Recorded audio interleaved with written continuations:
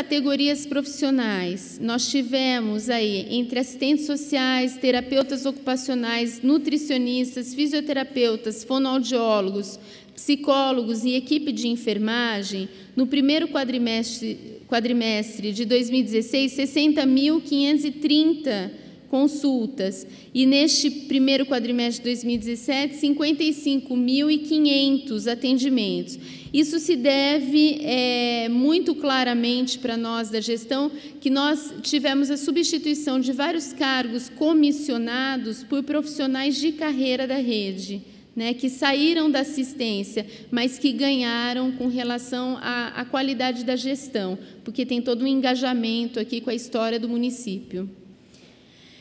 Uh, o programa Melhor em Casa, para quem não conhece, é um programa que trabalha, é, atende basicamente pacientes que estavam hospitalizados, mas que estavam tinham seus quadros estáveis, que não poderiam estar exclusivamente sob atendimento da unidade básica de saúde por é, demandarem um cuidado mais específico então, nós temos no município duas equipes que fazem essa assistência domiciliar e que fazem parte do programa Melhor em Casa.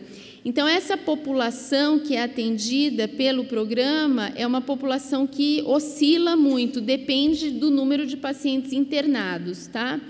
O ano passado, nós tivemos, num total de atividades, entre número de pacientes atendidos, visitas domiciliares, atendimentos de fisioterapia, busca ativa, reuniões e procedimentos de enfermagem foram 6.564. Este ano, 3.751.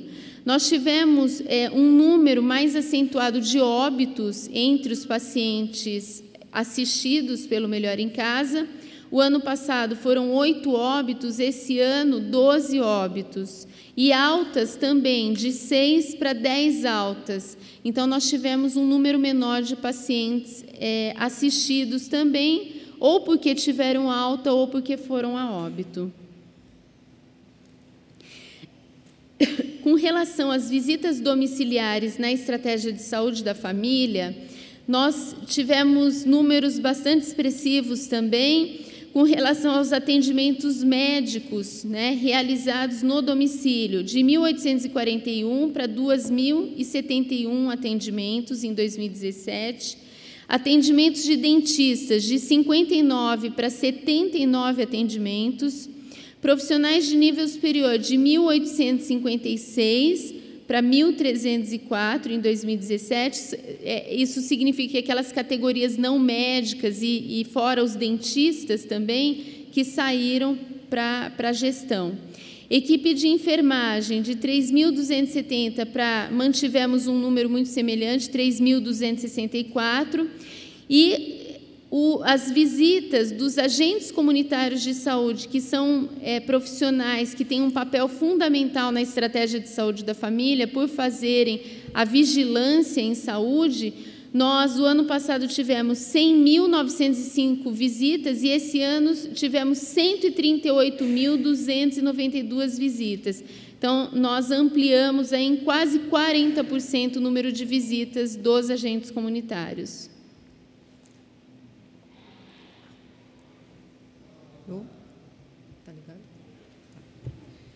Com relação às cirurgias, é, do Hospital São Francisco, em 2016, primeiro quadrimestre, é, 164, e agora em 2017, 216. Santa Casa, 208 e agora 261, totalizando no primeiro quadrimestre de 372 contra 577 agora em 2017. Ainda nas cirurgias, o Hospital São Francisco, no primeiro quadrimestre de primeiro, é, é, na questão da urgência, né? Em 2016, 154 o Hospital São Francisco e agora em 2017 81. Esse 81 ele se deve porque realmente quando chegamos estava realmente o Hospital São Francisco não estava realizando. Foi quando a gente começou a trabalhar a, a oncologia e o, e o hospital começou já a funcionar, encaminhamentos. E Santa Casa, que era 382, passou a 376. Foi exatamente também a mesma coisa parecida com São Francisco, que estava um tanto parado e, e, de acordo com conversações, a Santa Casa também já começou é, o seu funcionamento. Então, totalizando, em 2000, 2016, na questão da urgência, 908 e agora 1034. Nas internações, o Hospital São Francisco, em 2016, 1.578 e agora, em 2017, 1.671. Santa Casa, 2009 contra 2.221, totalizando 3.587 para 3.892. Nos procedimentos especializados, as cirurgias ambulatoriais no primeiro eh, em 2016 2.614 e agora, em 2017, 2.068. Uma justificativa também, as cirurgias ambulatoriais do SIM, que também já foram ampliadas, na próxima prestação isso daí vai ter um impacto maior, que estava realmente um tanto parado. A hemoterapia, que estava 1.510, 5.510, desculpa, e em 2017, 4.000 é, 4.644. A quimioterapia, 2.113 para agora 2013. Também a oncologia, ela era totalmente quase que mandada para fora de Jacareí. E agora, com linha de cuidado, a gente trouxe isso mais para a nossa cidade. Então, na próxima prestação também vai ter um impacto melhor. A trauma, a, a trauma ortopedia, 604 para 1.029. Sessões de hemodiálise, 4.822 para 5.476. Aqui tem a observaçãozinha que teve aumento de teto, que a cada seis meses tem esse aumento de teto e também de cadeira. Alguns exames extras. Com relação a análises clínicas, em 2016, 341, 945 contra 2017, 173, 425. Foi a questão do laboratório que estavam. É seu Paulo. Hum? Dispensação de medicamentos. Medicamentos. Com relação à dispensação de medicamentos, nós tivemos em 2016 67.928 pacientes assistidos, em 2017 65.805 pacientes assistidos. Importante é, a gente ressaltar que nós entramos no início da gestão, nossos estoques de medicamentos estavam zerados, né? E levou um, algum tempo para que a gente conseguisse restabelecer toda a rotina de dispensação de medicações. De, de, é, por esse motivo, então, houve essa redução, mas assim que os estoques foram repostos, a gente imediatamente conseguiu é, alavancar e, e, fazer um maior número de dispensações. Então, é, com relação a Lantos, né, é, pacientes assistidos em 2016, 377, em 2017, 382. Em 2016, tivemos 1.364 dispensações, e em 2017, 1.413. Alguns exames. Os exames de análises clínicas, da mesma forma que a medicação, é, nós iniciamos essa gestão também com apenas 20% dos exames laboratoriais sendo realizados levou, nós conseguimos restabelecer toda a rotina a partir do dia 20 de março. Então, em 2016, no primeiro quadrimestre, tivemos 341, 945 exames. Em 2017, 173, 425 exames realizados. Anatomopatológicos de 559, aumentamos em 2017 para 723 citopatológicos 7.524, em 2017 4.048, eletrocardiograma 3.091, fomos em 2017 para 4.093, e eletroencefalograma de 190, tivemos o número de 144 em 2017.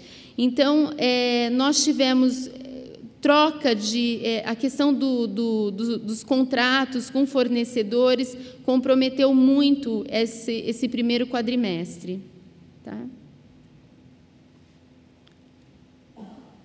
Com relação aos exames de imagem.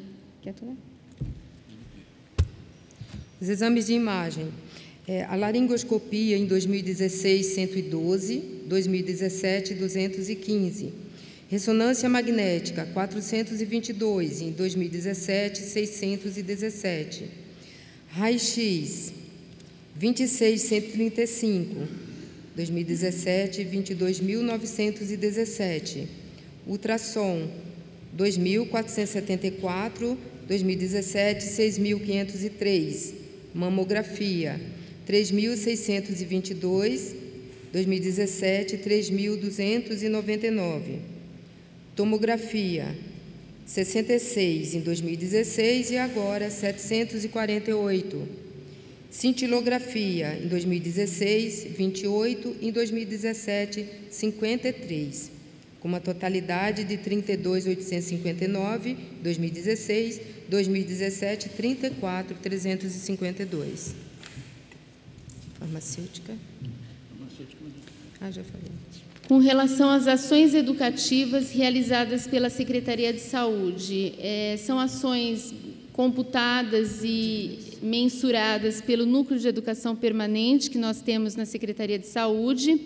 Então, é, 479 profissionais foram beneficiados, trabalhadores do SUS foram beneficiados com capacitações realizadas no município é, ações educativas de um modo geral, é, ações do programa DST-HIV, capacitações do Melhor em Casa, é, formação com relação ao uso do glicosímetro, a prevenção de câncer bucal e capacitações do CAPS-I, infanto-juvenil. Tá? E 77 pessoas, trabalhadores da saúde, foram beneficiados com seminários, oficinas, encontros e fóruns realizadas fora do município.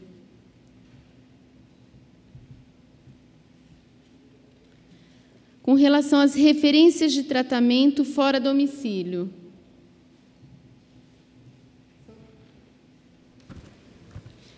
Tem alguns, alguns pacientes que, lógico, a cidade tem que mandar é, para fora de Jacareí, que são as alta complexidade, enfim, aquilo que a cidade não absorve tudo em geral.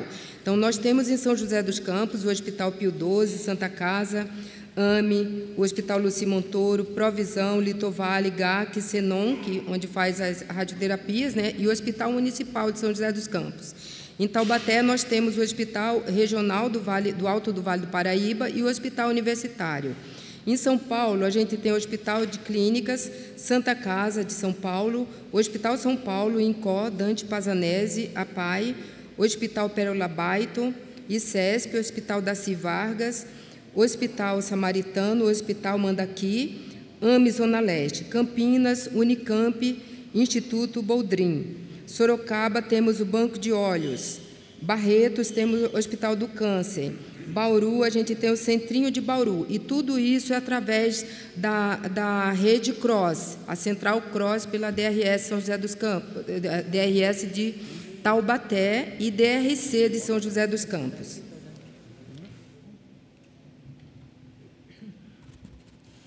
Bom, em relação aos transportes ambulatoriais no município, no ano de 2016, nós tivemos um total de 15.571 é, munícipes transportados para esses locais onde a gente tem atendimento fora do município, fora os atendimentos dentro do município, incluindo nesse número. No ano de 2017, nós tivemos uma redução desses números de transporte. Por quê? Grande parte desses pacientes que faz, fazem tratamento externo, nós estamos resgatando para o município novamente e colocando eles em tratamento no Hospital São Francisco, a parte de, de oncologia principalmente. É, e nós iniciamos um serviço de protocolar todo o transporte no município.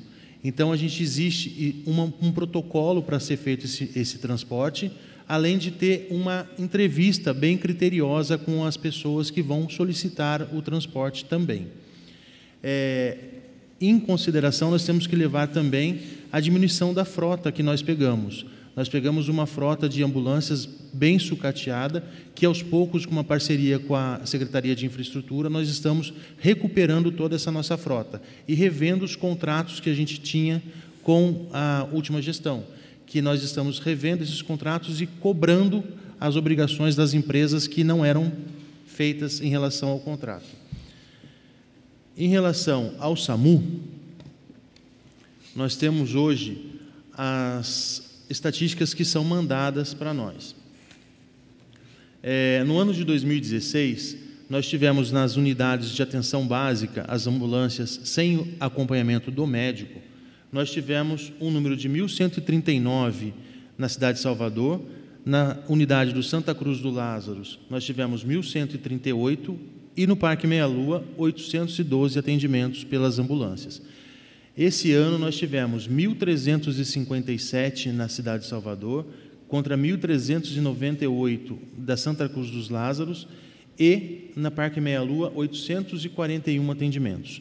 Nós tivemos um aumento na demanda de atendimentos do SAMU nesse primeiro quadrimestre do ano de 2017. Em relação ao número de atendimentos da unidade avançada, que é a ambulância que tem o acompanhamento do médico e do enfermeiro nós tivemos 305 para 403 nesse primeiro quadrimestre, na ambulância que ficava na, unidade do centro, que hoje está na unidade do Dr. Telmo, na, na nova base que nós inauguramos lá, junto com a unidade de atendimento pediátrico. Totalizando um atendimento no município de todas as ambulâncias, nós tivemos aí esse número de 3.000 594, 394 contra 3.999 nesse primeiro quadrimestre. Nós tivemos um aumento vultoso nesse primeiro quadrimestre no atendimento do SAMU. Isso devido a que nós temos aqui, é, nesse slide, nós podemos ver o número de chamadas que nós atendemos na unidade, que são chamadas por engano, chamadas onde tem a queda da ligação, a pessoa liga e logo a ligação é desligada e chamadas que são feitas para pedido de informações, ou seja, um teleatendimento inicial, e também esse pedido de informações, as, mais informa as, as informações mais diversas que são feitas via fone. E o número de chamadas falsas. Esse número é um número que pula aos nossos olhos. Um número de 57, é, 39.757 ligações de trote. Só de um número foi detectado mais de mil ligações de um número só para a Central 92. Então, isso a gente tem que apurar. Esse número já está sendo visto, já foi levantado o número e já está sendo investigado junto à polícia em relação a esse número. É, tivemos um atendimento total de 43.060 contra 74.635 nesse primeiro quadrimestre. Em relação aos atendimentos, nós temos agora nesse slide mostrando que nós temos um tempo-resposta que ele teve do ano passado para esse ano uma passagem de 12 minutos de tempo-resposta, que é o tempo que se recebe a ligação e se despacha a ambulância até o, até o local, de 12 minutos do ano passado contra 13 minutos esse ano. E nas unidades de tempo médio de transporte da unidade de referência de 11, 11 minutos, tanto do ano passado quanto esse ano. O tempo médio de resposta entre a solicitação telefônica, o atendimento e retorno da equipe à própria base de saída, nós temos de 1 minuto e 9 e mantendo esse número nesse ano também. Ou seja, o total de tempo em relação da ocorrência de, um minuto, de uma hora e nove minutos, desculpa. Agora a gente consegue determinar aqui o tipo de ocorrência que sai as nossas viaturas. Nós temos aqui 59% e 24% do ano passado contra 56% e 91% de tratamentos clínicos. O que, que é isso? O tratamento clínico. São pacientes que chamam, às vezes, a ambulância, inclusive a ambulância avançada, para tratamentos que não, não despendem do atendimento médico de urgência ou seja, não necessitam desse tratamento. São tratamentos que seriam feitos na parte ambulatorial, a grande maioria das vezes.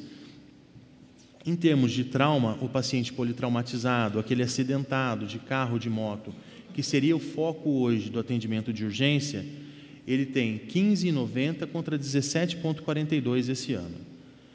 Entre outras que a gente pode ver, o obstétrico de 4 passou para 3, o psiquiátrico de 6 passou para 6,29, 6,1 passou para 6,29, os óbitos, o apoio do Águia é onde você, a gente consegue chamar a viatura aérea, que seria o Águia que da, da Polícia Militar, ou até mesmo da Polícia Rodoviária Federal, que ele vem em apoio. E temos os atendimentos pediátricos e neonatos também, que são tiveram aí um aumento na parte de pediatria de 0,5 para 2,28 e 0,03 do neonato passou para 0,72. Esse total de, de atendimentos clínicos isso aí a gente vê que existe uma necessidade muito grande de fazer uma parte de orientação ao munícipe. E isso já está sendo feito em relação a essa parte de orientação, educação, um vídeo educativo junto com o pessoal da, da, da imprensa do, do município, para a gente estar tá fazendo esse vídeo educativo para estar tá colocando nas unidades básicas, ensinando o munícipe como usar os serviços de urgência, os serviços de atenção básica. Porque ele às vezes tem que ser o quê? Colocado de uma maneira mais clara para o munícipe como é para se chamar o SAMU. O que foi colocado inicialmente nas propagandas, que teve uma, um questionamento em relação ao COMOS. Eles questionaram, mas foi falado que o SAMU era para resolver tudo.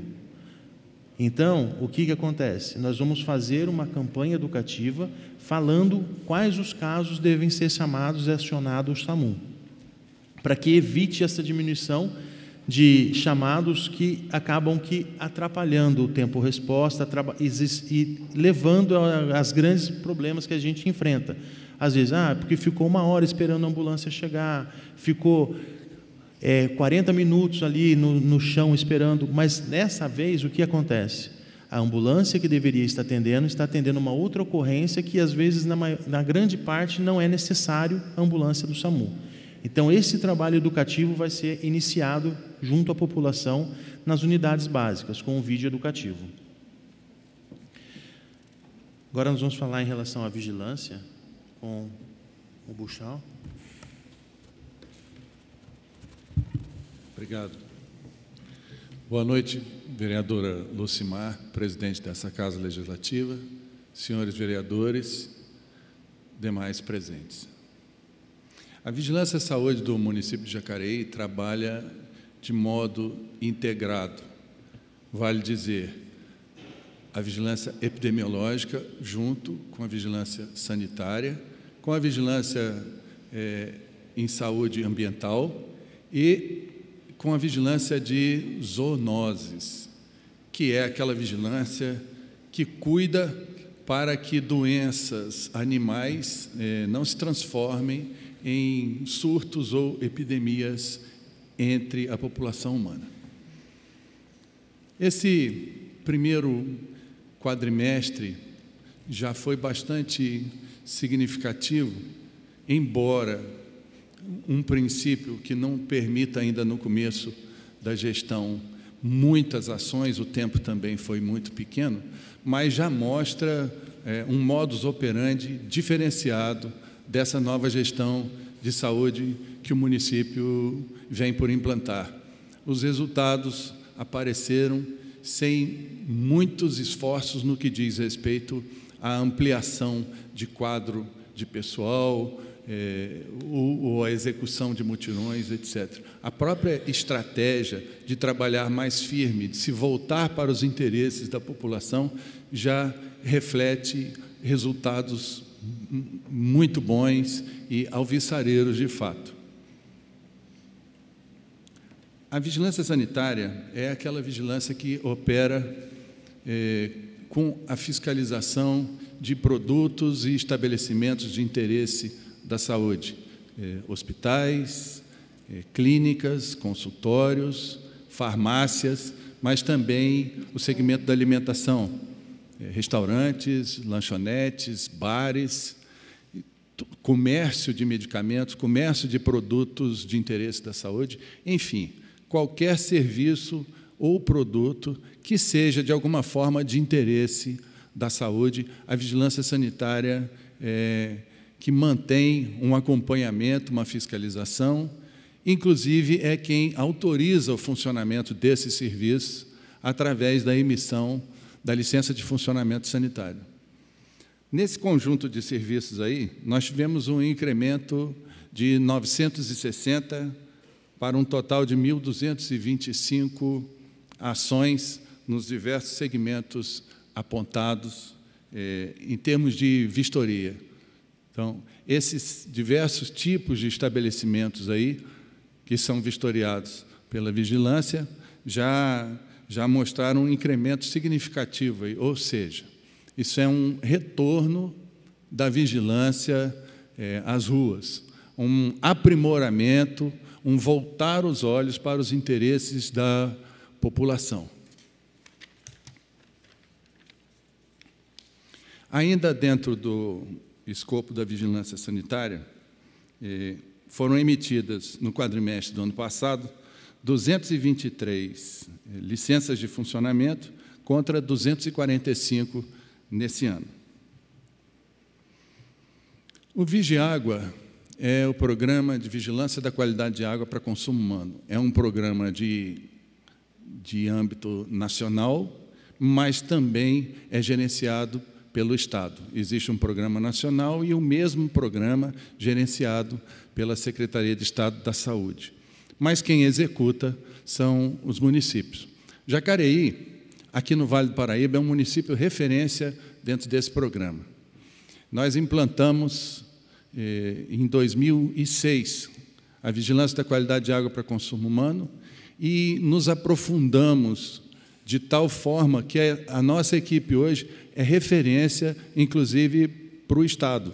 É, vez por outra, nós somos consultados é, a, medida, é, a respeito de medidas que devem ou não ser tomadas em outros municípios. Somos convidados para expor a nossa experiência aqui em Jacareí. E esse programa é quem garante é, a qualidade da água que é distribuída no município pelo SAI. A vigilância, portanto, é responsável de proceder a amostragens ao longo de todo o ano da água que é distribuída aqui. É, é por isso que esse número aí, 100, 121, é, aparece aí com pequenas variações, mas isso aí não, não reflete nenhum incremento, porque nós já trabalhamos com 100% das amostras nos dois casos, nós mesmos é, elaboramos o cronograma de amostragem. Esse segundo dado aí de análise de é, laudos de água, em que aparece uma redução de 413 para 281, a tendência é reduzir mais ainda e eliminar. Foi uma decisão é, da Secretaria de Estado da Saúde de não mais fazermos avaliação de laudos. É, as, as empresas que fazem uso de soluções alternativas de água para consumo humano, elas mesmas vão lançar esses laudos no sistema. Anteriormente, a vigilância recebia, é, apreciava esses laudos e nós mesmos fazíamos o lançamento. Agora, as próprias empresas fazem o lançamento, por isso que esse número vai diminuindo, ele teoricamente tende a zero. Depois nós tivemos é, abertura de processo administrativo sanitário, 10 no ano passado e 20 esse ano. O processo administrativo sanitário é aberto quando um desses estabelecimentos eh, de interesse da saúde comete infrações sanitárias, que mesmo depois de orientado, mesmo depois de ser lhe dado um tempo e uma oportunidade de corrigir, desconsidera é, essa oportunidade e permanece militando na infração. Resulta, portanto, é, num auto de infração. Análise de projetos arquitetônicos, de 139 para 216, foi um incremento muito significativo também, e isso tem sido apontado pelo Comitê Gestor de Vigilância. O segmento que representa é, os, os, os, usuários, os munícipes, é, tem apontado no seu interesse, é, uma demora significativa para as análises dos projetos que são encaminhados para vigilância. Nós já conseguimos praticamente dobrar a produção, reduzir pela metade o tempo de espera que vinha acontecendo até então.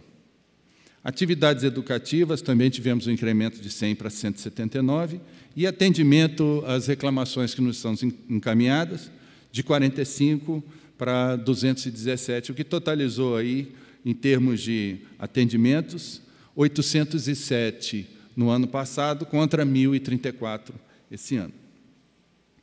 Com relação à, à vigilância epidemiológica, registramos 1.004 nascimentos no primeiro quadrimestre do ano passado, contra 910 esse ano, o que significa que no mesmo período nasceram menos crianças.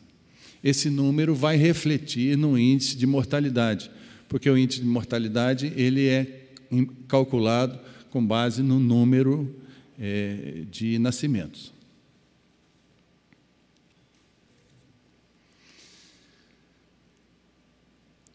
Ainda com relação à vigilância epidemiológica, o total de óbitos no ano passado foi de 458 contra 449.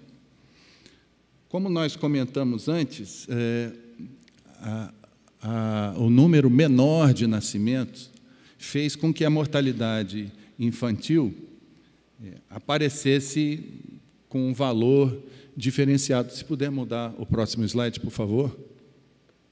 Então, aí aparece um, um valor de 9,96 no primeiro quadrimestre passado e de 10,98 nesse quadrimestre, embora o total de óbitos tenha sido o mesmo no período. Tivemos 10 óbitos. É, esses casos de óbitos são investigados e estão em andamento, a, a investigação está em andamento pelo Comitê de Mortalidade Infantil do município. Ainda com relação à vigilância epidemiológica, tivemos um total de, de, de, vacinas aplicadas no primeiro quadrimestre do ano passado de 35.411 contra 57.516 esse ano.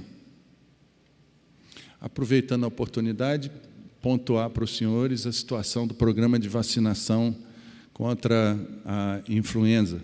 O município está indo muito bem, os nossos números de cobertura vacinal estão maiores do que as médias do Estado. Só ainda nos preocupa, nos preocupa um pouco é, as gestantes e as crianças que ainda estão com índice um, um pouco baixo. Nós estamos trabalhando na direção de incentivar esses segmentos, mas os índices estão indo bem. Parabéns para os idosos que saíram na frente e foram os primeiros a alcançar a meta de vacinação.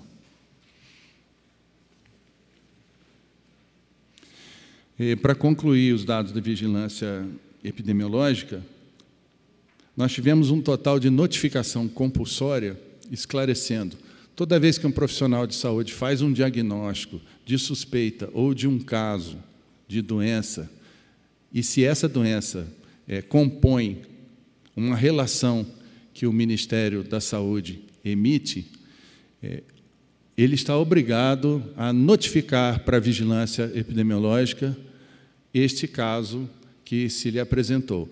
Então, o médico tem um paciente e faz um diagnóstico de uma determinada doença, se essa doença estiver naquela lista do Ministério da Saúde, ele necessariamente precisa notificar isso para vigilância epidemiológica. Esse slide, doenças de notificação compulsória, contabiliza exatamente é, esse total. Notificação 918 e 662 casos confirmados no ano passado, contra 609 casos notificados esse ano, para 549 casos confirmados. Com relação à vigilância ambiental, a vigilância ambiental é aquela que fica atenta e alerta para as variáveis do meio ambiente que podem trazer dano para a saúde. Por exemplo, a poluição do ar, esgotos a céu aberto, eh, dengue, essas, essas variáveis do meio ambiente que podem trazer eh, riscos para a saúde. Escorpião, como bem alertou recentemente o vereador Valmir, eh, esses casos todos compõem o objeto de atenção da vigilância ambiental. No quadrimestre do ano passado, no primeiro quadrimestre, nós tivemos um total de 66.268 imóveis vistoriados para fins de controle da dengue, contra 71.086 esse ano. Foi um incremento de cerca de 5 mil imóveis eh, que foram vistoriados. Esse aí não é o total de, de imóveis, mas o total de vezes em que nós visitamos. Alguns imóveis que estão em regiões de maior proliferação, eles são visitados mais de uma vez. Leitura de larvas coletadas é o resultado que nós obtemos quando coletamos larvas de mosquito, levamos para o nosso laboratório e lá fazemos a leitura sob microscópio para identificação da espécie para confirmar se se trata do Aedes aegypti ou não. No ano passado fizemos 1.627 no primeiro quadrimestre e esse ano 2.200 leituras. E atendimentos diversos, olha que interessante. Nós fizemos 1.279 ano passado e esse ano apenas 899. Por que essa queda? Porque nós fomos chamados menos vezes como nós fizemos mais visitas, estivemos mais intensamente presentes nas casas dos munícipes, a demanda eh, voluntária foi menor, a necessidade de nos chamar foi menor. Notificações de dengue no primeiro quadrimestre foram 2.020 contra 501 notificações.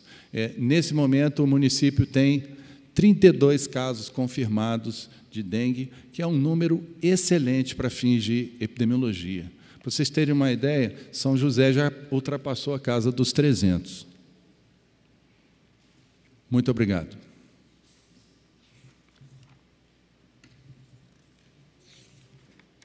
Perdão, eu pulei um slide aqui. Tem mais um. Vigilância de zoonoses.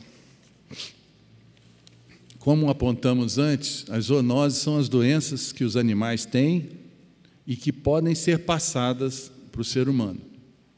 Aquela unidade de observação animal que fica na cidade de Salvador, que equivocadamente nós chamamos de canil, não é um canil, é uma unidade de observação de animais. Os animais que são levados para lá são animais que estão doentes ou que são suspeitos de serem portadores de zoonoses. Lá não é um canil, não é um lugar para abrigar animais, é uma unidade de observação de animais. Mas praticamente virou uma tradição na cidade acreditar que lá é um canil, mas não é um canil. A gente até costuma chamar de canil, mas não é. Então, é, amostras recolhidas para a vigilância da raiva foram três em 2016 e 11 esse ano. A amostra de outras zoonoses foram 17 no ano passado, contra 102 esse ano. Observações de animais agressores, de 58 para 121. Vistorias de investigação de zoonoses, é, quando são solicitados ou quando são apontados pelos nossos agentes que, percorrendo a cidade por outras razões, identificam situações suspeitas. De 11 para 71 é, investigações. E, finalmente, total de imóveis vistoriados sob demanda da população, de 232 para 275. Agora sim, muito obrigado. Perdão pela nossa falha com o último slide.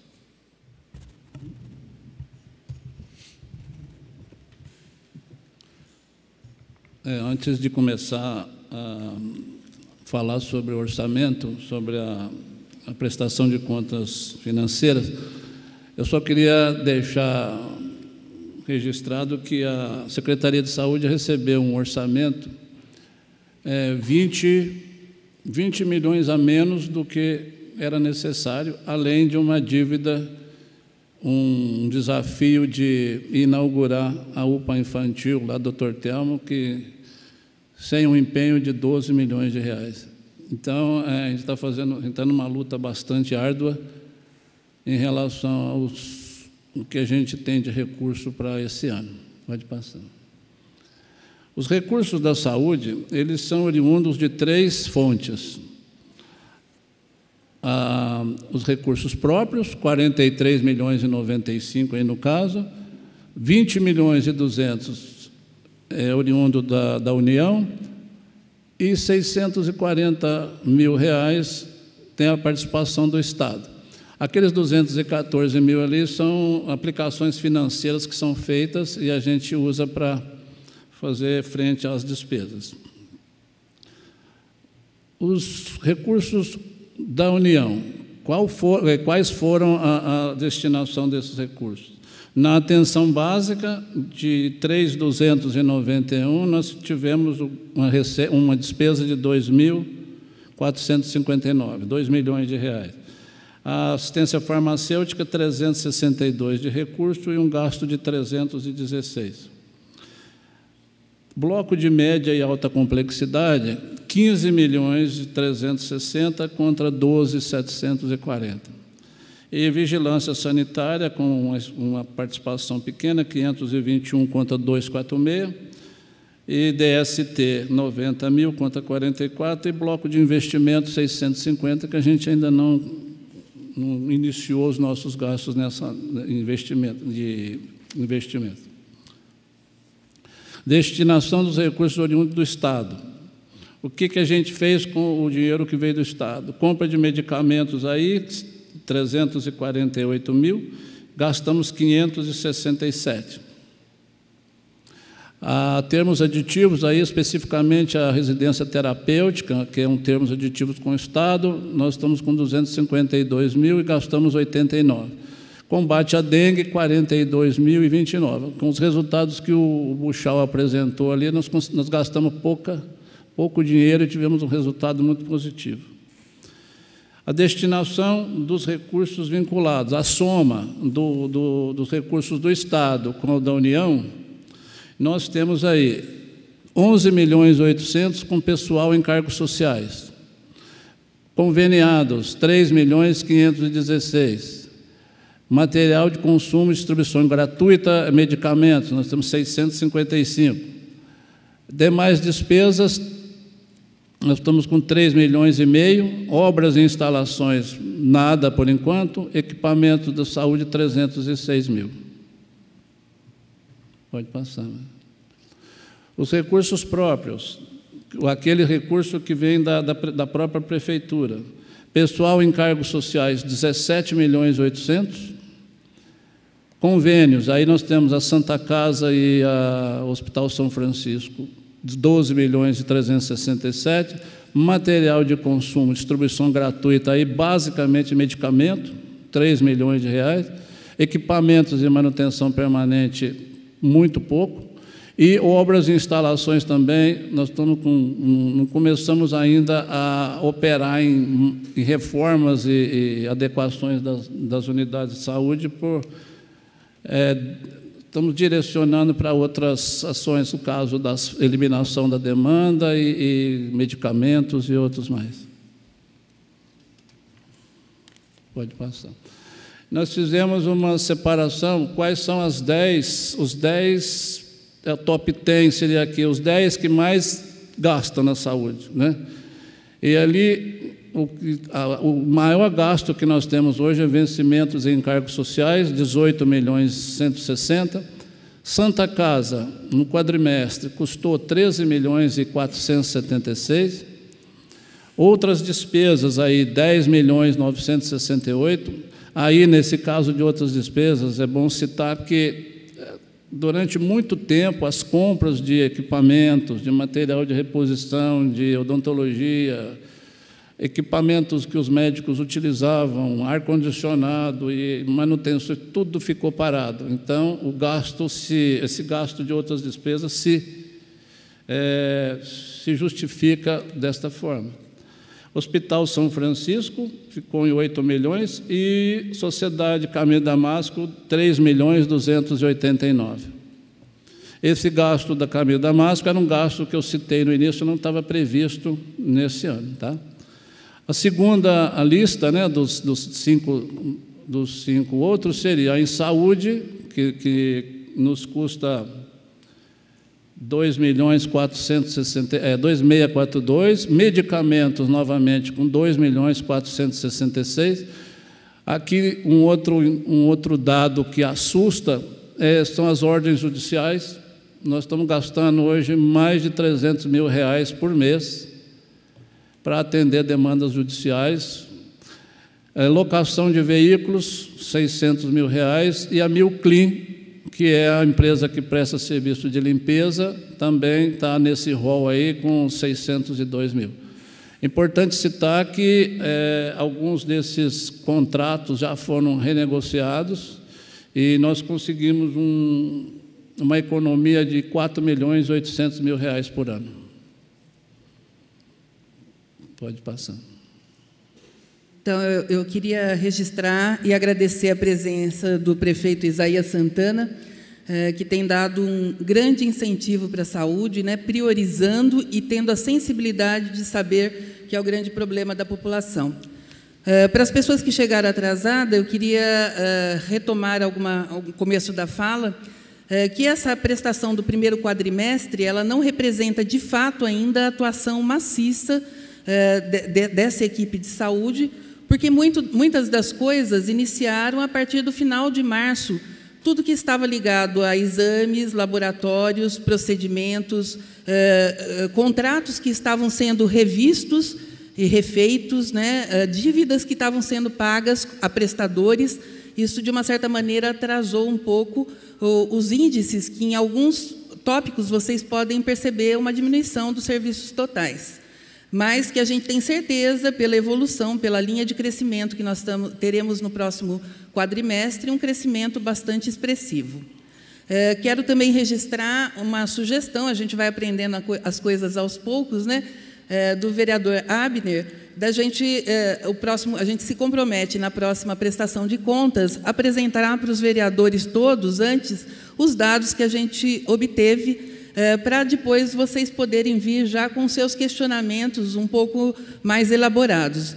É, nesse momento, a gente vai é, se comprometer a entregar esses dados que foram passados para vocês no, a posteriori, infelizmente. Mas estamos abertos para todas as perguntas e questionamentos e sugestões que vocês tenham a dar.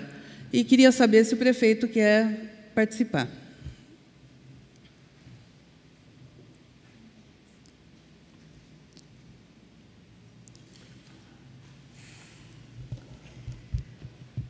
A gente fica feliz com a apresentação, que a gente vê que o atendimento à saúde tem tido o respeito e a atenção que merece, né?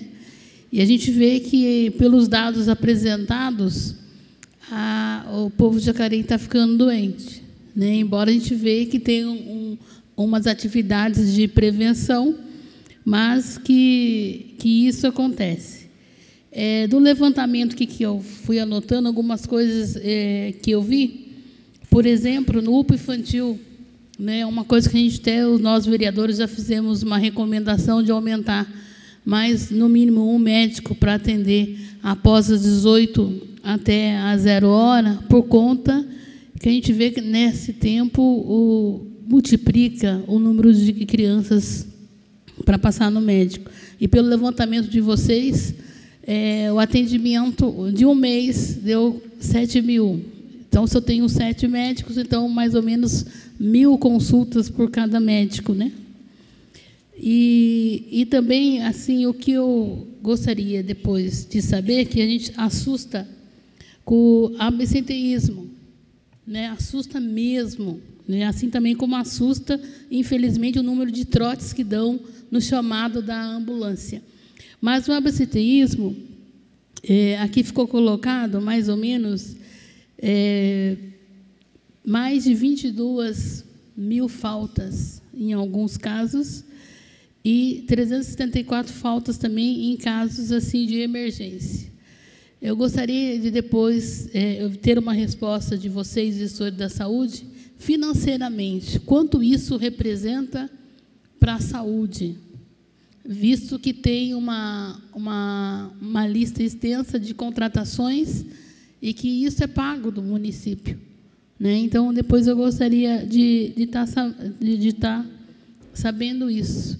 E também eu acho que a gente encontra aqui, a gente sabendo dessa notícia, que tem mais de 30 mil chamadas de trotes telefônicos, nós temos que, enquanto vereadores, também fazer alguma coisa que isso é gasto público de não só de combustível, mas também de atenção. Enquanto se perde tempo, às vezes alguém, por questão de segundos, pode estar precisando de uma emergência.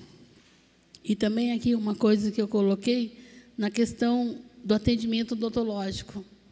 Vocês colocaram de um atendimento de 12, mais de 12 mil atendimentos.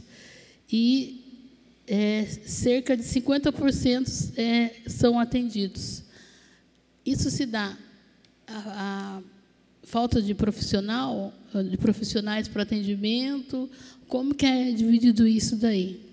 E também eu vi que você, a gente conhece como PSF e vocês estão usando a estratégia de saúde da família, essa é a nova nomenclatura. E também eu gostaria que, que também que assim como fez o, o diretor da vigilância, parabéns pela explicação que ele explicou, né, para os leigos, né, como a gente que não é da área da saúde, o que significava cada questão. E aqui quando vocês falam é, que houve 577 é, cirurgias eletivas né? Acho que é legal a gente saber, né? porque é, para a gente que não é da área, a gente fica um pouco perdida. E na questão da quimioterapia, eu gostaria de saber se o, número 2003 é sessões ou são pacientes que foram atendidos nesses quatro meses de, de trabalho de vocês. E também é, parabenizar aí, né, pelos exemplos dos idosos, está atendendo o chamado e a preocupação com a saúde de participar do H1N1, né, no nosso município. E parabéns mais uma vez pela atuação e determinação de, de vocês, que assim a gente vê o empenho, a preocupação, a prioridade do prefeito em atender a saúde em primeiro lugar, mas também a gente vê que é um, um, um abraço e determinação de vocês também ter isso como prioridade. Fazer um atendimento de qualidade, de respeito e dedicação. Né, tanto aos usuários, mas também a gente vê também um, uma atenção também dada aos servidores da área pública. Bom, são várias questões, né? A gente vai é, respondendo algumas e passando para, para os colegas responder as outras. É, em relação ao UPA 3, né, é o, a, a, bola da vez. Né? Na realidade, é um serviço muito novo, é, que tem seus ajustes. Nós recebemos, esta semana, na quinta-feira, o primeiro relatório é, da Companhia Damasco, que é quem gere o UPA 3, é, trazendo para a gente alguns dados que estão sendo estudados. Né? Em relação à cidade, a primeira coisa que a gente observa é que assim há um tempo existe uma tendência hospitalocêntrica no, no, país como um todo, né? E realmente você tem toda a razão, Lucimar, que o certo seria estar, tá tá investindo muito mais em atenção básica do que em, em hospital, em unidade de pronto atendimento, né? Mas isso é uma, uma coisa arraigada na cabeça de muita gente, até de gente com nível é, maior, né, que quer o atendimento na hora, que deixa para depois a sua prevenção. É, nós temos uma, uma, uma, um modelo de estratégia de saúde da família bastante interessante. E esse modelo ele teria que realmente ter um pouco mais de força em alguns setores. Por exemplo, a população não entende muito bem, porque durante anos ela era atendida pelo clínico, ginecologista e pediatra, que não tem mais pediatra na unidade. Então, o generalista, ele supre essa função. Né? Quando aparece um UPA, aparece o pediatra, todo mundo quer ir no pediatra. Mas mal sabe ela que é muito mais importante ela ser atendida na unidade básica, porque tem um, acompanhamento daquela criança. Né? O projeto de saúde da família é isso mesmo. A criança estava com peso assim, agora caiu o peso. O que aconteceu com essa criança? Isso é muito mais importante do que medicar na hora. Né? É claro que quando você abre uma porta, um UPA, porta aberta, leva uma demanda muito maior. Fora isso, nós estamos num mês em que está mudança de temperatura. Em qualquer lugar, em qualquer setor particular, inclusive, vai ter aumento mesmo. E claro que a gente está aberto a readequar horários. Né? Pelo, pelo que foi passado nesse relatório, esse relatório é até abril, é, até então não tinha grandes picos de horários. Claro, um dia ou outro acontecia, mas assim, sistematicamente ainda não. Pode ser que ainda pegue fora o que vocês observaram. Né? Por exemplo, ao, ao entrar aqui hoje, o doutor Carlos tem no, no, no celular dele, eu ainda no, não no meu, porque eu não coloquei, mas na secretaria a gente tem, um modelo. Tudo que tem, se ele for levantar agora, ele conta para vocês quantas crianças estão em classificação de risco neste momento, quantas crianças estão sendo atendidas e o tempo de cada criança. E a gente tem observado isso às vezes em loco, às vezes à distância. A gente percebe sim que a população trabalhadora vai mais no horário do final da tarde. E a gente tem estudado como melhorar isso sim. Né? Então, o pai, a mãe, então, de repente parece que lota, mas vai o pai, a mãe, às vezes três, quatro crianças, nem sempre está lotado o local, mas nem sempre está lotado é, o atendimento. Né? Mas, de qualquer maneira, a gente tem um olhar bastante grande em relação a isso. Em relação à demanda que chega ao UPA, a gente viu que, em termos de classificação de risco, 75%, 51 mais 24, estão sendo do, da classificação verde e azul, que é a classificação sem risco. É a classificação que deveria estar sendo atendida na unidade básica de saúde. Né? Então, isso, de uma certa maneira, atrapalha a emergência. E, assim, houve uma tendência inicial, até da própria unidade, falar, está lotado aqui, vamos para lá. Até encaminhar para lá, nós estamos tentando reverter isso. Através de educação mesmo. Né? A gente já tem uma parceria com a Secretaria de Comunicação de, de uh, passar nas, nas, unidades básicas uh, e nas unidades de saúde da família filmes mostrando onde cada atendimento deve ser realizado. Né? Então, a gente percebe bastante isso. Você quer complementar, Carlão, em relação à urgência? Sim, é, como a secretária falou em relação à sazonalidade, isso é uma, é uma tendência nessa época aumentar mesmo o número de atendimentos. É, em relação aos médicos, nós estamos estudando realmente essa possibilidade da gente ampliar o horário de um médico, como? Adotando a mesma medida que nós fizemos na Santa Casa, de colocar um médico no horário da manhã, chegando um pouco mais tarde, e ele estendendo o horário dele até o começo da noite. Ou seja, a gente tem nos horários de maior pico um, um número maior de médicos e não tem um aumento no custo mensal. Então a gente está tentando estudar isso com a UPA infantil também. Já foi passado para eles essa questão desse novo, novo esquema de horário, e eles aceitaram e nós vamos começar a fazer esse estudo de atendimento para tentar melhorar o número de médicos no horário de pico de atendimento. Em relação à classificação de risco, como a secretária bem falou, nós temos um grande número de crianças na UPA infantil e até mesmo na Santa Casa, como a gente tinha antes de ser feito, iniciado a classificação efetiva de risco, nós tínhamos o quê? Tínhamos um grande número de atendimentos azul e verde, que acabam fazendo o quê? Com que o tempo de atendimento aumente. Por quê? São pacientes que não têm a indicação de ficar lá atendendo ah, na parte de urgência e emergência e acabam piorando o tempo de atendimento. Mas nós estamos estudando isso com, a nova Caminho de Damasco para melhorar como a gente conseguiu diminuir esse tempo na Santa Casa. Em relação também ao número de consultas, existe uma previsão de fechar esse mês em aproximadamente 8.500 consultas, esse mês. Então, a gente vê que esse número, a tendência é aumentar cada vez mais. E a gente tem ainda um fator agravante em relação aos, aos cooperados, que nós vamos ter um déficit agora por causa desse acordo que teve é, a suspensão com o governo federal. Então, nós vamos ter um aumento no atendimento de urgência, porque vai ter um déficit muito grande dos números de, do número de cooperados na rede básica. Então, esse número vai aumentar e muito.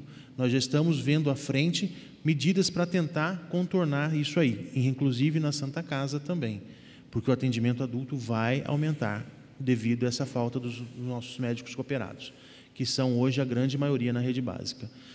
É, que eu tenho mais a complementar, a doutora Rosana falou que a gente fica monitorando online a unidade nova. Eu tenho no meu celular, mas infelizmente falando acabou a bateria e eu não consigo visualizar agora.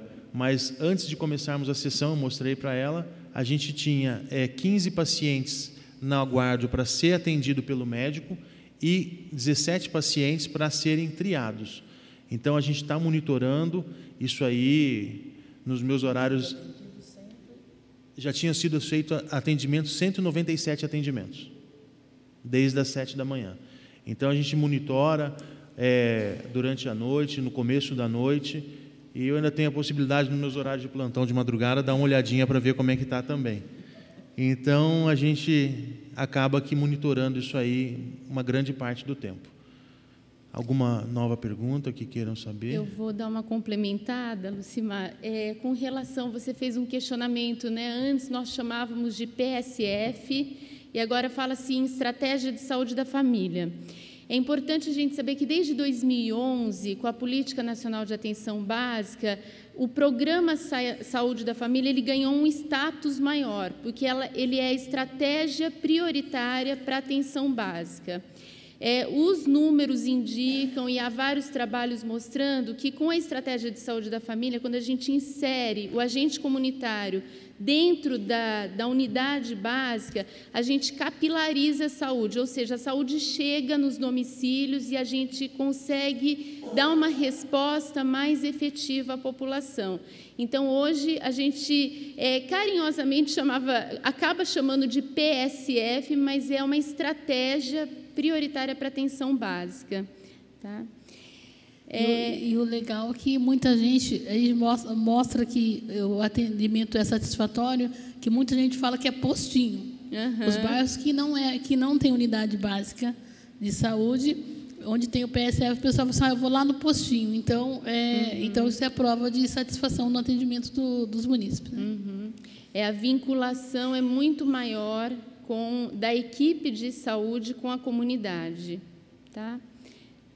É, com relação ao questionamento às vagas de odontologia e as faltas, as consultas na, na questão da saúde bucal, é, o que, que nós temos hoje é, como um cenário que a gente precisa enfrentar futuramente? Nós tínhamos dentistas anteriormente concursados, que é o meu caso, inclusive, para trabalhar 20 horas semanais. E em 2011, quando muda a Política Nacional de Atenção Básica, para a gente conseguir habilitar uma equipe de saúde bucal vinculada à, à estratégia de saúde da família, a gente precisava de dentistas 40 horas. Então, os concursos começaram a ser para carga horária de 40 horas semanais. Então, a gente não consegue repor. O pessoal que está se aposentando de 20 horas, a gente não consegue repor com de 40, porque é um outro quadro, né? uma outra lotação. Então, a gente está realmente com algumas lacunas assistenciais na rede especializada, principalmente. Tá? É, outra questão que eu queria comentar é o seu questionamento com relação ao número de faltas, né? o, o absenteísmo. É, esse profissional que fica, que é pago e fica aguardando na unidade é, o usuário chegar e ele não vem para a consulta agendada, é claro que há um desperdício de recurso financeiro, não só para as consultas, mas com relação aos exames que são comprados também, né? Então é uma gama muito grande, eu não saberia mensurar o montante disso nesse momento, porque são exames, são muito específicos, né? São atendimentos de diversas especialidades. Mas, assim, a gente tem trabalhado, juntamente com a comunicação também, numa campanha é, para combate, né, para diminuição desse número de faltas, que é uma forma da gente fazer a boa gestão do recurso financeiro que nós dispomos. E, é, além disso, temos intensificado nas reuniões de conselho gestor de unidade é, esses dados que são importantes que a gente leve às lideranças comunitárias para que eles trabalhem junto à comunidade ativamente né, nesse processo de conscientização. E também é, a gente tem intensificado é, e protocolado, a regulação tem intensificado as ações do call center, ou seja, quando a equipe liga para agendar uma consulta, ela não desiste numa única vez, ela liga uma, ela liga duas, três vezes, até que a gente, não conseguindo, a gente aciona a unidade básica de saúde para que o agente comunitário vá em busca desse usuário que tem a consulta agendada. Tá? Fora isso, é, estamos também atualizando os cadastros, porque como a gente tem mudança de telefone, né, o, o munícipe troca o chip do celular, aí muda o número, não informa a unidade de saúde e a gente muitas vezes fica com o contato com esse usuário bastante comprometido. Bom, Primeiro. Em relação ao número de cirurgias, eu não entendi bem a sua pergunta. Passou para 577. Você quer saber qual a especialidade? Por que ah, ah, foi, mudou? porque, é porque a gente é leigo, né? Quando falou assim, ó, as 500 eletivos, eletivos e é. urgências, urgência a gente entende é, que é, a... uma, é uma coisa momentânea, assim, de repente é, tem que fazer, né? Tá. Mas no caso eletivo, quais é. seriam essas? É, eletivo é aquele que, que não precisa ser operado na emergência e na urgência, né? Então, você está lá com uma, uma, uma, cirurgia programada de pedra na vesícula, por exemplo. Se ela não está causando uma obstrução, uma grande dor, um sangramento ou uma infecção, ela pode e deve ser marcada eletivamente, que você diminui os riscos cirúrgicos. Né? É, a gente tem uma contratualização com a Santa Casa que prevê números de, de cirurgias para cada especialidade. Essa contratualização vai ter que ser revista, porque ela é muito aquém da necessidade mas muitas vezes nem isso cumpria. Né? Então, nosso primeiro trabalho em relação à Santa Casa foi fazer cumprir o que está contratualizado. Né? Você tem quatro cirurgias, por exemplo, de joelho por mês. É pouco, é pouco, nós vamos ter que mexer nisso daí. Às vezes tem alguns setores que não utilizam, a gente acaba utilizando para aquilo. Mas só, tinha só quatro. E muitas vezes não eram cumpridas essas quatro. Né? Então, a gente tem feito uma busca importante em relação aos especialistas a retomarem a Santa Casa. O corpo médico da Santa Casa ele ficou bastante restrito durante um tempo. Né? É, as pessoas deixavam aquela fila ali, a gente está tentando retomar essas filas, por isso que tem um aumento. E vocês viram que diminuiu o número de leitos de 149 para 98 leitos da Santa Casa, de acordo com normas sanitárias recentes, né? É, isso até já aconteceu na gestão passada, não é de agora, não. A gente manteve isso. É muito mais humano você ter um quarto que não tem cinco, seis, sete pessoas. Né? É, você pode ver a maior parte dos quartos lá tem três, no máximo, leitos. Né?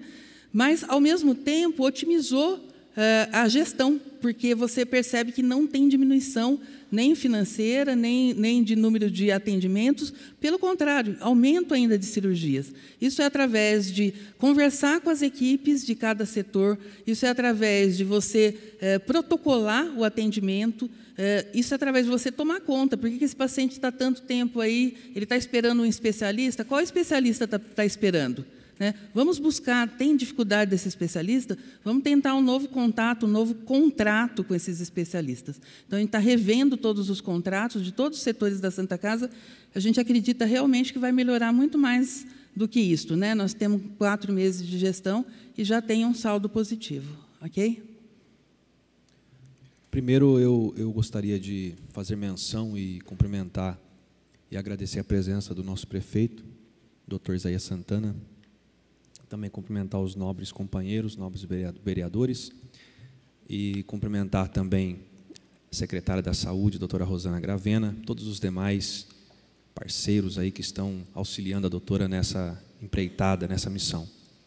É, eu quero, antes de tudo, parabenizar o trabalho de vocês. Né? A gente percebe que, diante dos números que nos foram, nos foram apresentados, A gente percebe que vocês correram bastante aí atrás do prejuízo né, que havia e, e, e conseguiram. Né, a gente percebeu aí no, no que foi mostrado para a gente que vocês correram atrás do prejuízo, conseguiram é, alcançá-lo. E eu quero pegar a fala do meu amigo, vereador Aderbal Sodré. Jacareí pode ficar tranquila que a saúde está em boas mãos. Né? Eu tenho certeza que ao final dessa gestão nós vamos apresentar aí uma saúde de qualidade para a cidade, que durante muito tempo é, foi um descaso, né? É, se tratou a saúde com muito descaso nessa cidade. Então, tenho certeza que a cidade pode ter esperança, nós temos esperança e eu sou otimista nisso. Tenho certeza que vocês vão trabalhar bastante para isso. Obrigado. Obrigada. Muito obrigada. Também queria falar um pouquinho como profissional da área. Primeiramente, agradecer como profissional da área, como vereador, nosso prefeito Isaías Santana, você, Rosana, como secretária de saúde, os demais membros da mesa, que está honrando nossa, nossa proposta de campanha de realmente fazer de saúde prioridade nessa cidade.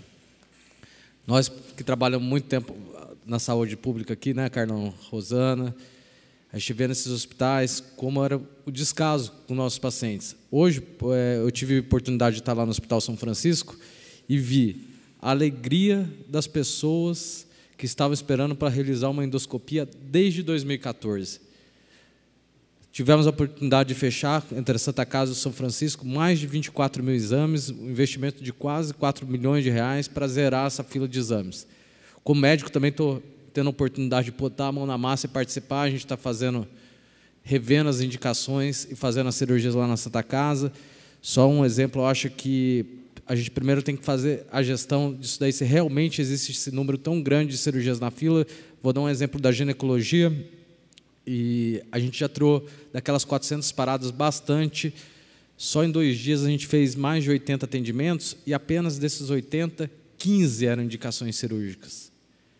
Então, eu acho que, e vou deixar é, outra ideia aqui, eu acho que a gente perder esses médicos cooperados cubanos, eu acho que a gente não perde muita coisa, porque eu sempre questionei, vou continuar questionando a qualidade do atendimento, é, o, o ônus que isso daí dá para o município é, para gerar exames desnecessários, indicações cirúrgicas erradas.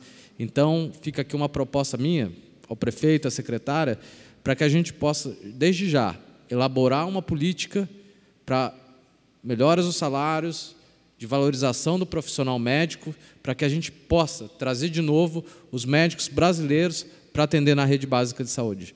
Parabéns, viu? A gente agradece ao doutor Rodrigo, né, parceiro aí da luta da saúde, e a gente tem essa intenção, sim.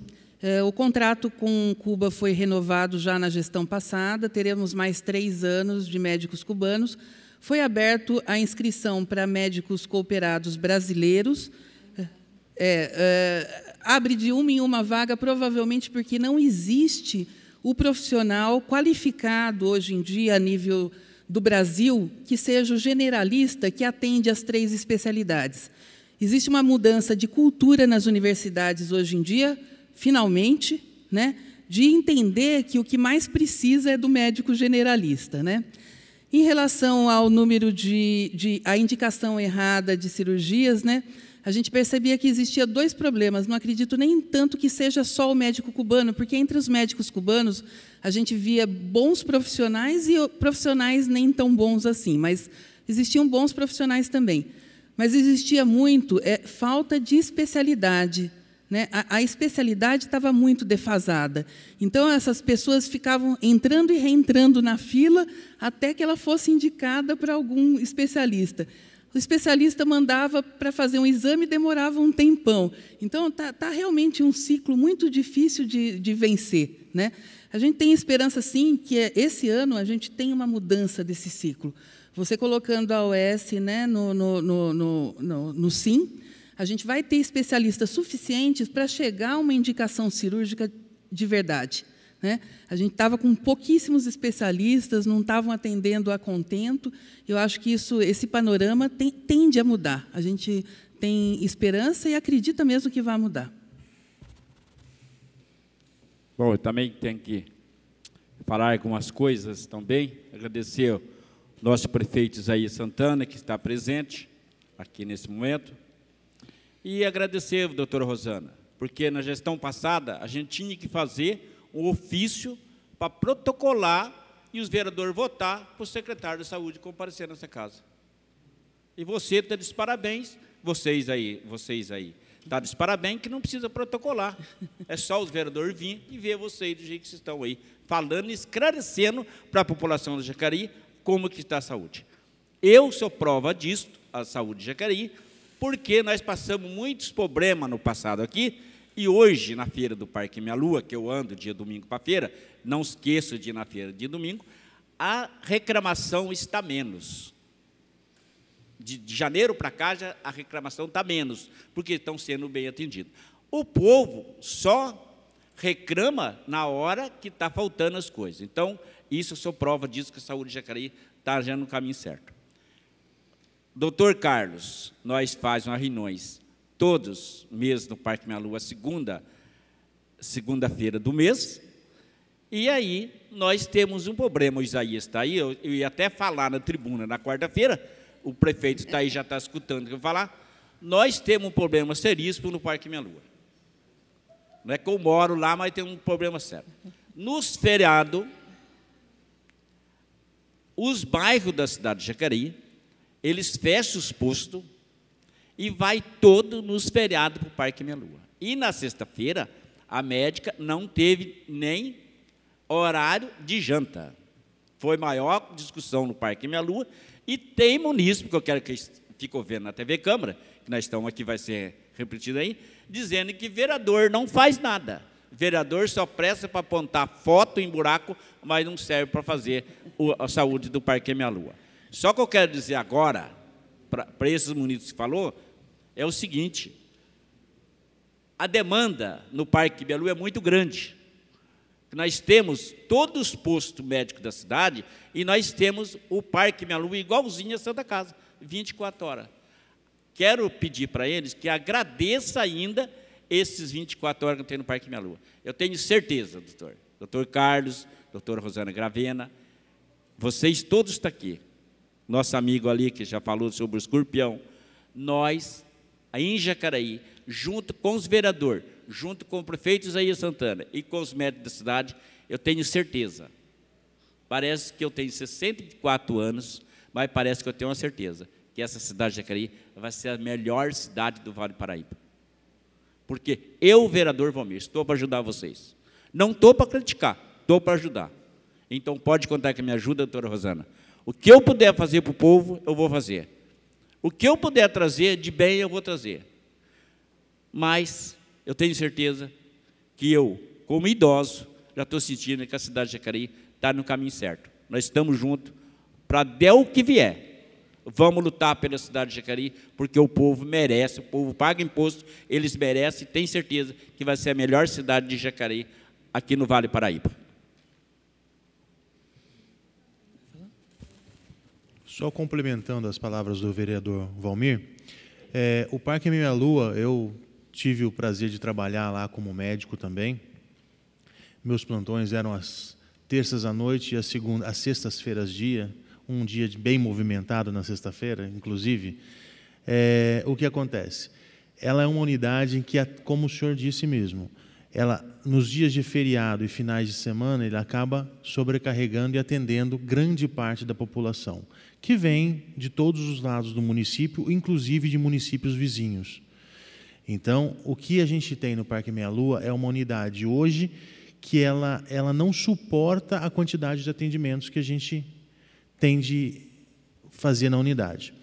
Nossa, nossa meta é reestruturar essa unidade e trazer novos recursos e novas é, tecnologias para a unidade, que nós estamos estudando para estar tá levando, como é uma solicitação das nossas reuniões em relação ao aparelho de raio-x, em relação ao serviço de laboratório na unidade, que a gente está estudando todas essas hipóteses para melhorar cada vez mais o atendimento da nossa unidade do Parque Meia Lua, que acaba brilhantando mais a saúde em Jacareí. Essa é a nossa, a nossa meta de tentar diminuir o atendimento tanto na Santa Casa quanto na UPA infantil, com o aprimoramento do nosso nossa unidade do Meia Lua. É, também vai resolver bastante esse problema a hora que a gente inaugurar o UPA uh, Dr. Telmo na parte adulta. Né? Isso dá uma perspectiva para o ano que vem. Né? Eu acho que a, a, população do Parque Meia Lua, 30 mil habitantes, né, ela tem realmente que tem que ser olhada de uma maneira diferente, porque é uma concentração, é uma cidade praticamente, né? E o prefeito fez isso, né, dando essa oportunidade de a gente estar tá reestruturando a unidade, aumentando, dividindo entre eh, pronto atendimento de fato e unidade de estratégia de saúde da família, eh, separadas, com a recepção separada, com atendimento separado, e vindo uma OS para complementar todo o instrumental, todos os aparelhos necessários para um bom atendimento. Né? Eu acho que as duas coisas juntas né? A gente vê aí no futuro pra, próximo, né? a gente fala que está estudando, mas a gente não é de estudar e não fazer. Estuda e já está aplicando mesmo. Né? Muito obrigado, Valmir, pelas palavras. Eu também gostaria de fazer algumas perguntas.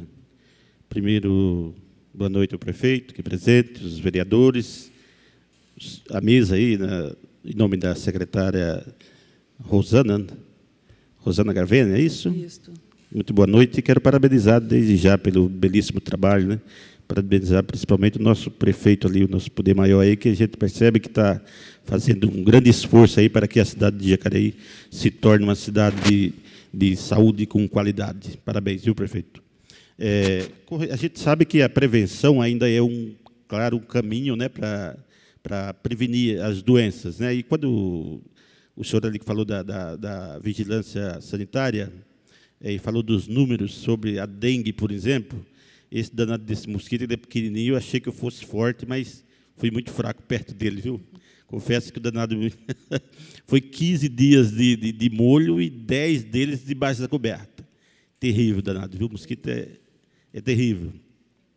E a gente percebe andando pela rua aí, né, pela, pelos bairros, é, uma, uma movimentação muito grande da vigilância sanitária, né? Correndo atrás de, de, de, de, focos, né?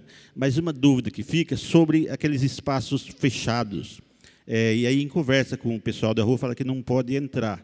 Mas nesse caso, como vocês agem, né? Porque seria interessante se elas têm algum um meio de vocês agirem nessa situação também. Porque tem muitos imóveis abandonados, né? E ali que, sem dúvida, a gente sabe que acaba sendo um criador.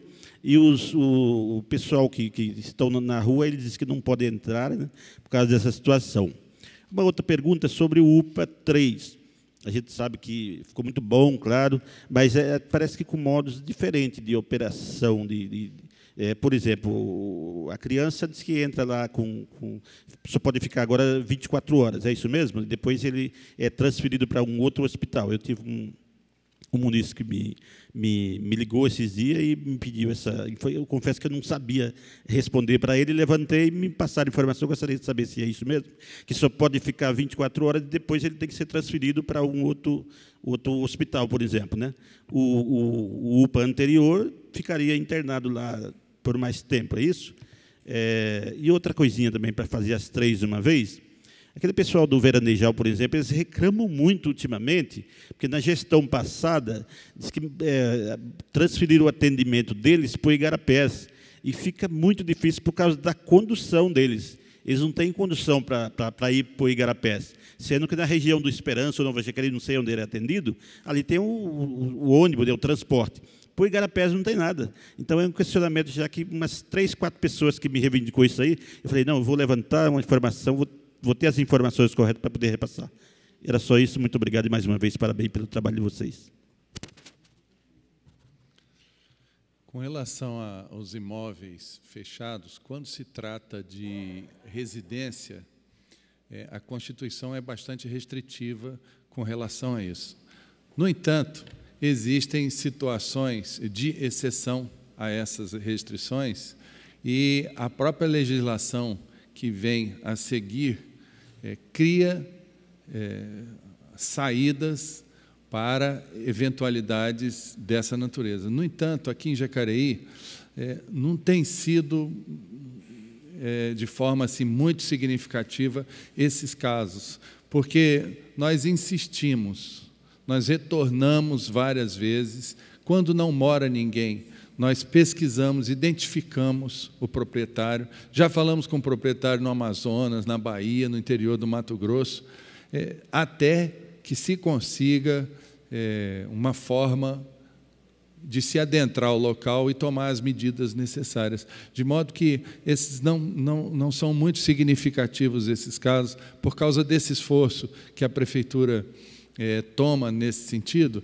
a Secretaria de Saúde, junto com a Secretaria de Planejamento, junto com a Secretaria, com demais órgãos da administração que às vezes são suscitados para resolver esses casos, felizmente, e, e, e dá para se perceber isso no, nos números bastante positivos que nós temos em relação ao controle que é conduzido aqui no município. Mas, de qualquer forma, obrigado pela sua observação. É, vereador Juarez, é, em relação ao atendimento nas UPAs, isso não é uma normatização do município, isso é uma normatização da portaria. Existe uma portaria chamada Portaria 2048, que ela rege os serviços de urgência e emergência e a rede de urgência no Brasil. E essa portaria determina que toda unidade de pronto atendimento 24 horas, ou seja, a UPA 24 horas, seja ela nível 1, nível 2 ou nível 3, o paciente ele tem que ficar 24 horas naquela unidade e daí ser removido para um serviço ou de internação, que seria a retaguarda, ou um serviço, serviço terciário, para ter novas é, condutas. A partir disso, o nosso paciente, por que, que ele fica 24 horas? Ele fica 24 horas em observação e dali ele segue para a internação, ou na Santa Casa ou no São Francisco, quando necessita de vaga de UTI.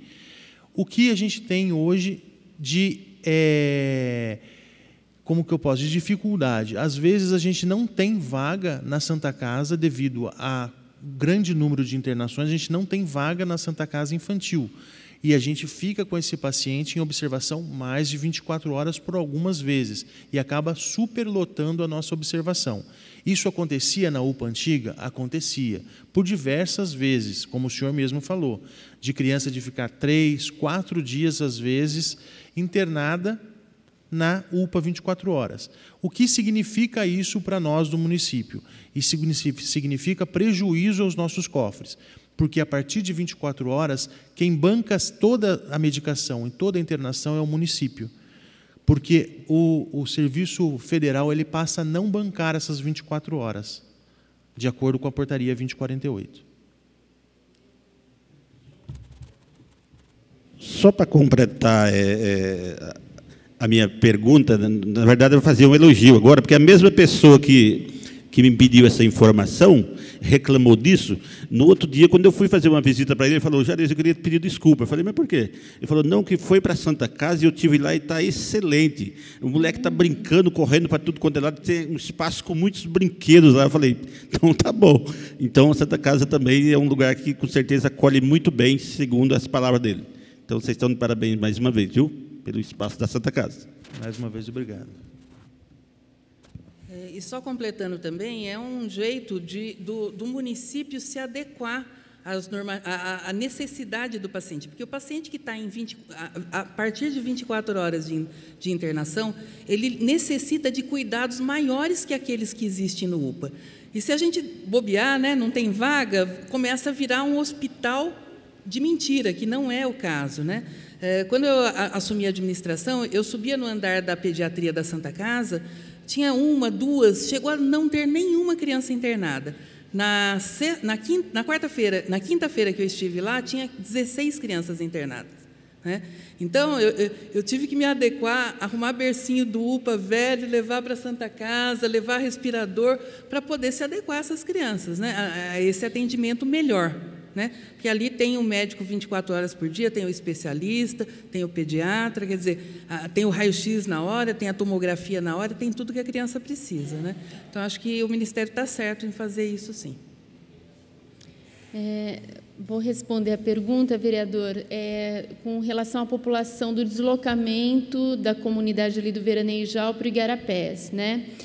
É, essa questão da mobilidade né, até a unidade de referência, a gente tem feito levantamentos em todas as unidades com relação à população SUS dependente, ou seja, quem está naquele território, quem acessa a unidade, quantos acessam, né, e o deslocamento. A gente já identificou a necessidade de estar tá, é, remanejando ou reavaliando essa estruturação no Igarapés, né? E, inclusive, por ser uma população é, que tem um número expressivo de SUS dependentes, a gente tem cerca de 95% da população ali do território é, usuárias da unidade básica de saúde.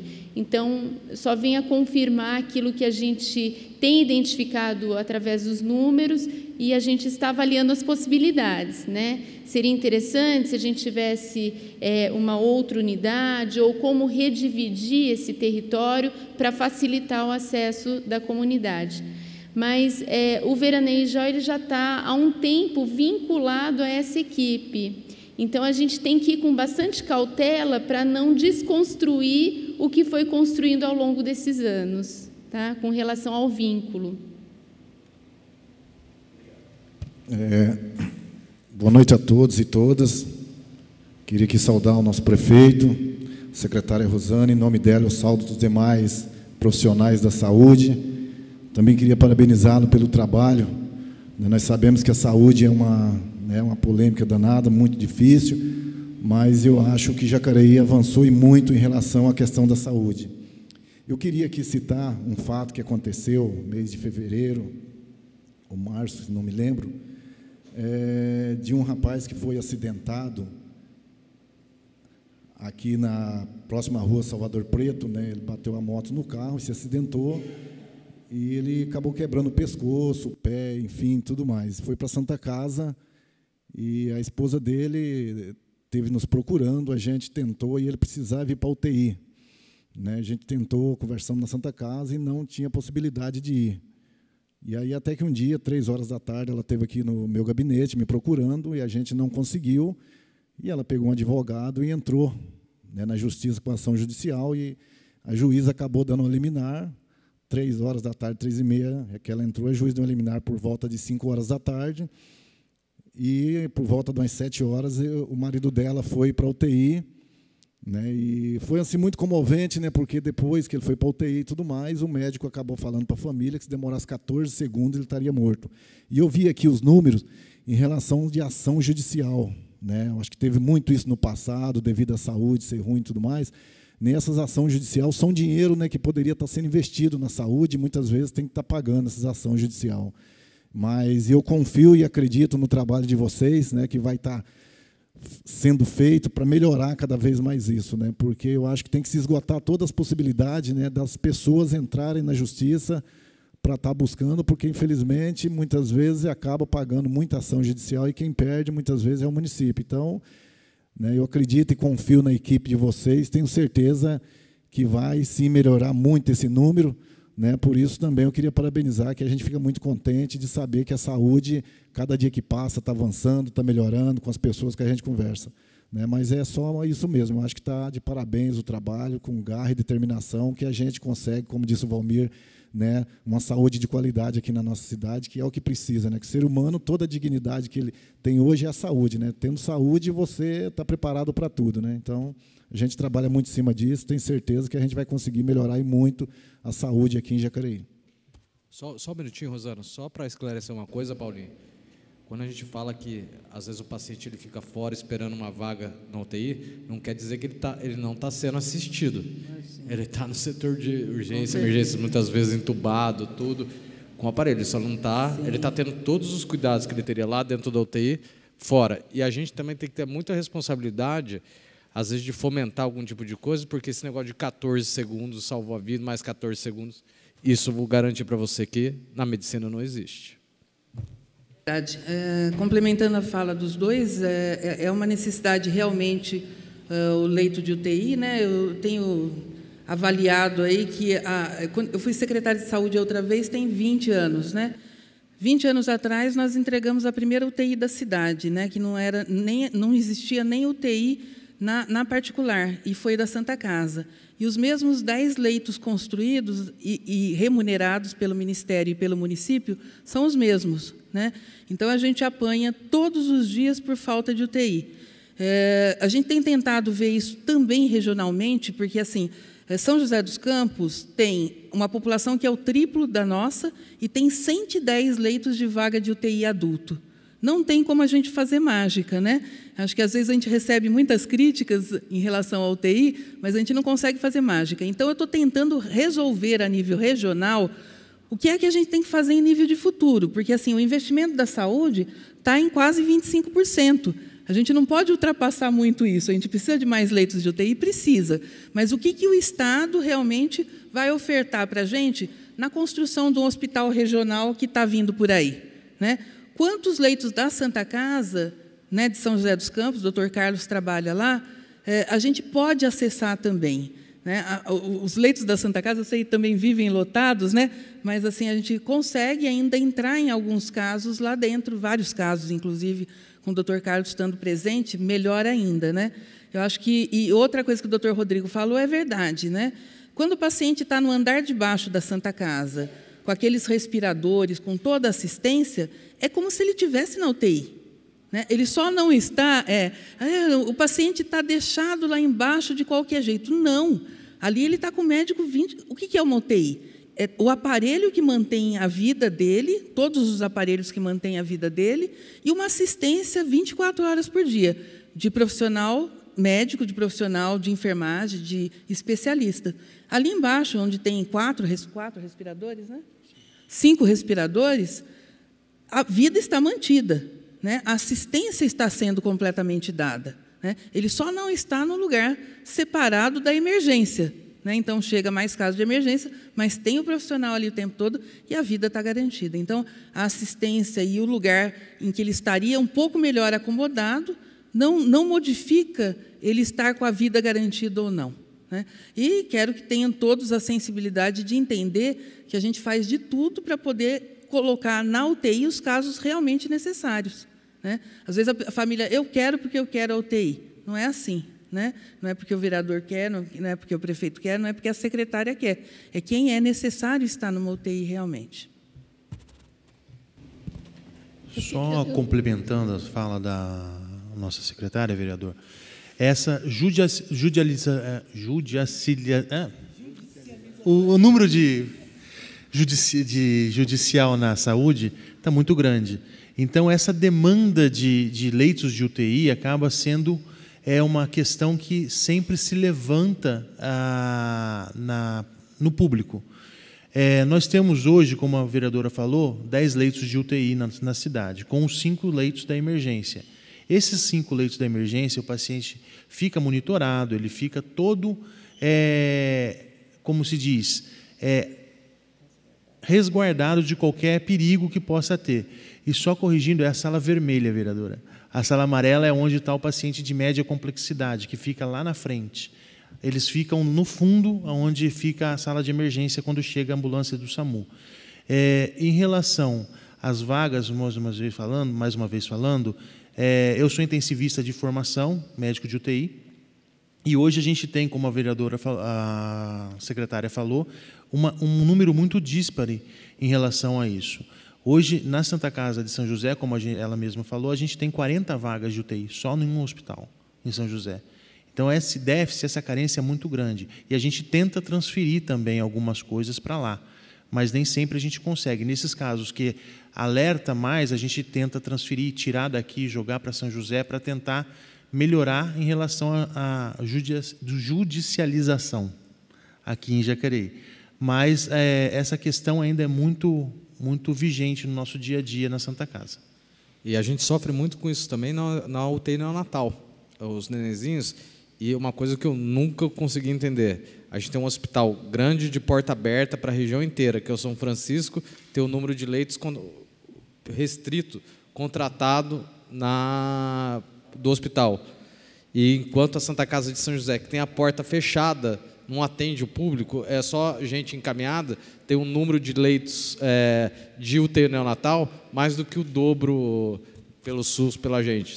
É, eu acho que daí, politicamente, a gente tem que começar a cobrar da RS para rever essa distribuição desses pacientes. É, essa questão é uma questão de pactualização mesmo. É, hoje a gente tem na Santa Casa de São José, como o vereador falou, na parte de UTI adulto, a gente tem que manter 17 leitos SUS, dentro desses 40 leitos que a gente tem. 17 tem que ser SUS. Então, é, a gente tenta, porque essas vagas de SUS a gente recebe via CROSS, que é a Central de Regulação de Oferta de Serviços de Saúde. Então, a gente recebe esses pacientes do, do estado inteiro. Então, acaba que ficando essa disputa de vaga também, e acaba que atrapalhando. Mas essa pactuação tem que ser revista mesmo. Eu só queria, é, não posso deixar de, de, de, de, completar a fala. Estamos, estamos aí vendo é, o relatório e as falas das UBSs, da vigilância, dos programas do atendimento UPA infantil, dos hospitais, mas não podemos esquecer do CAPS. Né? E a gente vê que Jacareí está sendo referência no atendimento de CAPS, que são pessoas que fazem o tratamento Saúde mental, álcool e droga. E álcool e droga a gente está vendo que é uma doença que está afetando muitos lares, né? E precisa de uma atenção. E Jacareí tem esse trabalho e tem essa atenção reconhecida. A gente está vendo nesse mês de maio, né? É, o mês dessa luta, dessa batalha. E eu, eu não, não e, é, e essa e, é, e esse trabalho desses equipamentos, esses quatro equipamentos do município não apareceu também muito claro no relatório. Acho que é interessante ressaltar isso na apresentação, por conta que a gente sabe, trabalhar com a dependência, a gente salva a família. Não é só o dependente, é a família. Então, o Jacareí tem um trabalho expressivo, precisa adaptar. A gente tem um grupo de funcionários e servidores trabalhando arduamente nisso e com muito amor e dedicação. Então, eu gostaria também que vocês expressassem, talvez em números, é, essa questão do CAPS. Uhum. Tem. É, sem dúvida nenhuma, sim, seu apontamento é muito pertinente. Até aproveito para a gente é, ressaltar que estamos no mês da luta antimanicomial. Né? Hoje nós tivemos um evento aqui importante na Câmara, reunimos vários segmentos do município para debater a saúde mental no município. E é, a nossa rede de atenção psicossocial em Jacareí, que é composta pelos CAPS AD, CAPS 2, CAPS I, as residências terapêuticas e o ambulatório de saúde mental e toda a rede que está articulada né, com esses equipamentos, ela, ela é uma rede bastante exitosa, há muito empenho dos trabalhadores, de fato. Nós passamos por esses números, eu vou tentar achar aqui no slide para tentar resgatar para você.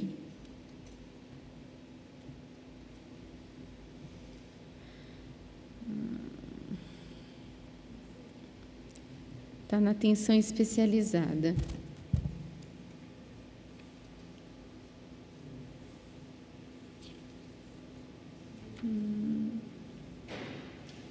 Aqui. Dá para colocar, por favor, na tela? Então, assim, é, o CAP são equipamentos portas abertas, né? A gente passou por esse slide, mas acabamos não detalhando na apresentação. É, então, assim, não é uma demanda que é, ela é captada na atenção básica, mas o munícipe pode ir diretamente receber o atendimento nesses equipamentos. Nós tivemos, então, esses números no CAPS 2 de 918 no primeiro quadrimestre de 2016 e 754 no primeiro quadrimestre de 2017. O CAPS AD também de 541 para 306 e o CAPS infantil de 112 para 119. Esses atendimentos acabam tendo uma flutuação e apresentam uma oscilação por ser um equipamento porta aberta mas sem dúvida nenhuma é, é, desenvolvido um trabalho de reinserção, em parceria inclusive com outras secretarias, como a gente debateu hoje pela manhã, né, de reinserção desses usuários com transtorno mental grave ou usuário de álcool e droga.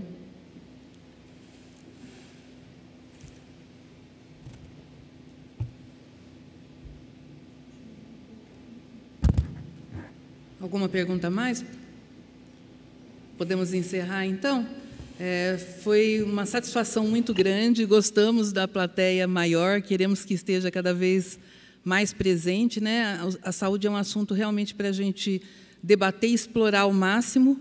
Estamos abertos a todas as críticas e todas as sugestões que vocês estão dando. Né? Estamos anotando e traremos o retorno na, na, próxima prestação de contas. Muito obrigada aos vereadores, à presidente da Câmara, ao prefeito presente, aos companheiros da saúde e aos munícipes da TV Câmara, que são os maiores interessados no atendimento à saúde da população. Obrigada.